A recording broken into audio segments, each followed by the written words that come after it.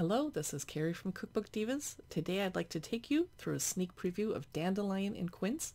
It's a cookbook that's exploring the wide world of unusual vegetables, fruits, and herbs. It's by Michelle McKenzie, photographs by Rick Poon. I haven't looked through it yet or cooked or baked anything out of it. I was waiting to look through it with you. Now we can't look through the whole book, but let's check out the table of contents and then peek at some of the recipes.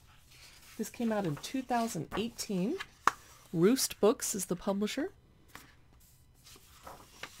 And the contents are organized by the type of herb or ingredient, such as dandelion, dates, edible ornamentals, green garlic, horseradish, huckleberries, purslane, quince, radicchio, ramps, shallots, sorrel, sprouts, etc. So here's the introduction. I'll read that later. On letting go, on attuning to the body, dandelion and quince.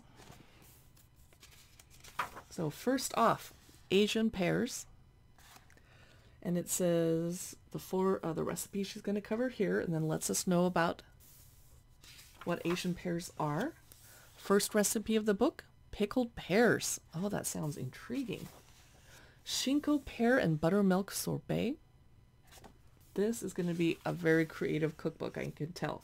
Rye berries, chicory, pear, and walnuts a steamed pear to soothe a cough, and now bolting herbs, such as peas and their shoots, lettuce, ticklemore, and chive blossoms. This is going to be very educational. Caramelized carrots with lentils, labneh, and flowering cilantro. Smoked trout and potato hash with dill blossoms. Buddha's hand. I've eaten that one time. It was good. So here's a recipe called Six Citrus Rice Salad. I'm assuming, yep, and it uses Buddha's hand. Cheese, pumpkin, and citron hummus. Walnut and citron quote-unquote cigars. Fermented citron and honey tea. Let's start skipping ahead a little. Cardoons, never heard of that. Buttermilk fried cardoons. This is celeriac galette. That would be amazing in autumn. Celery leaf salmori.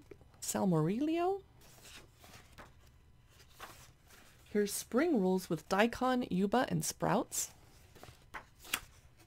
Dandelion. We're going to learn about that. And some of the recipes include meatballs summer Sunday sauce and dandelion gremolata. Cashew milk with fresh dates, banana, and oats.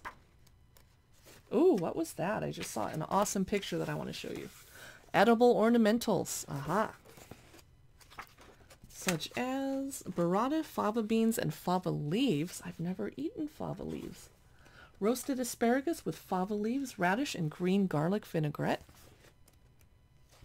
Here's sardine pate with fennel pollen. Now fig leaves and the things you can do with them besides wearing them. Chicken thighs braised with fig leaves, white bean, and yogurt puree.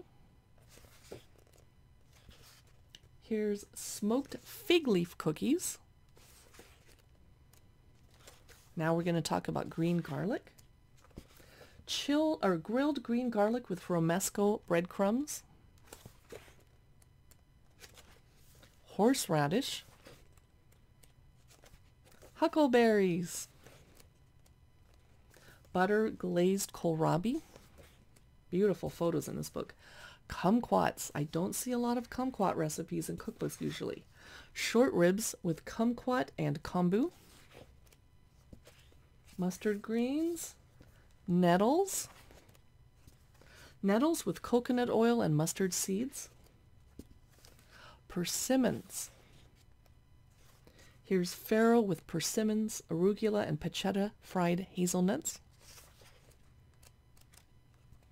Charred padrones, purslane, and vinegared torpedo onions. Now here's the quince section. Winter root and quince tagine. Radicchio. Ramps. roasted artichokes with ramp mayonnaise, shallots, crispy eggplant with pickled shallots, green chilies, and Thai basil, crispy shallots and shallot oil, green shallots baked with comté, here's sorrel baked omelet with sorrel, dill, and toasted fenugreek. Is this a vegetarian cookbook? I'm not seeing meat. Hmm. Sprouted chickpea croquettes, yogurt, tahini, and coriander. Squash blossoms with quesadillas. Here's sunchokes. Shaved sunchoke salad with sunflower sprouts, sunflower seeds, and manchego. That was a tongue twister. Ah, green fish stew. It is not a vegetarian cookbook. Okay. And weeds that we want. Beets in raspberry vinegar with miner's lettuce. And here's pantry essentials such as kombu stock, preserved lemons, semolina dough, etc. That was Dandelion and Quince. I hope you enjoyed this cookbook look through and preview as much as I did. Thanks so much for watching.